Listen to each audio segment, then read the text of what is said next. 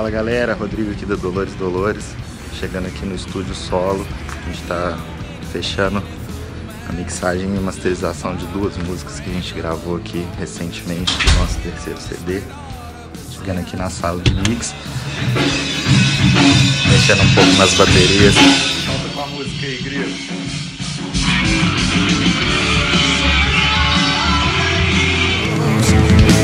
Os